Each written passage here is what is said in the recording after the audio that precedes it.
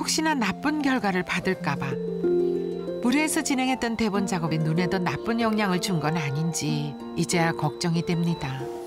오른쪽은 오늘 검사한 걸로는 66% 정도 기능적으로 남아 있어요.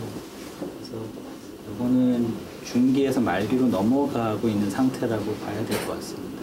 지금 최대로 쓸 수 있는 안약을 다 쓰고 있기 때문에 이 다음 방법은 이제는 수술밖에 없기 때문에 수고하세요. 최악을 생각했던 사람들에게 나쁜 소식이란 없습니다. 66% 남아있는 시력이지만 그저 감사한 두 사람입니다. 그래도 다행이다. 눈이 눈이 상태가 좋아서 저 정도면 아주 희망적이잖아. 아이 기분 좋네. 너무 감사하고요. 정말 걱정했어요. 난 겉으로 말 안 했거든요. 아우 속상하고 화가 나고 우리 남편이 막 머리끝부터 발끝까지 건강했으면 좋겠는데 아프다 그러면은 좀 수- 정말 속상해요. 내가 아무 도움도 돼줄 수 없으니까 화도 나고 같이 건강하게 살아야 되는데 자꾸 왜 아프다고 하지? 근데 말은 안 했어요. 막 제가 그렇다니까 이제 못됐어요. 여보 아파. 어 어떡하니 어떡하니 이래야 되는데 이걸 못해요. 잘할 것 같죠? 그걸 못해요.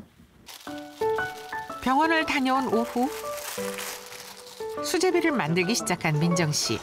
물론 옆에서 남편이 돕고 있지만 남편이 좋아하는 밥상을 차려서 응원하고 싶습니다.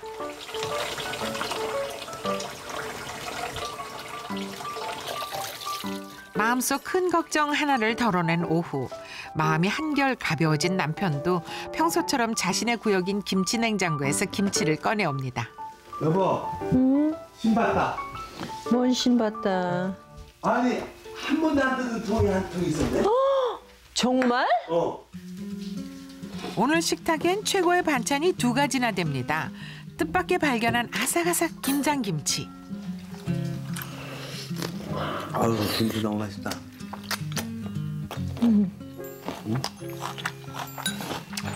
이런 일 집에서 먹어야지. 밖에 나가서 어떻게 이렇게 손으로 막 이런 이렇게 먹을 수 있냐고. 그리고 그보다 더 맛있는 최고의 반찬. 건강하게 함께 할 수 있다는 희망.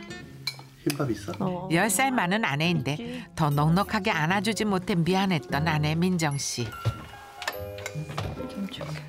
열 살 어린 남편인데 아파서 미안했던 남편 동일 씨.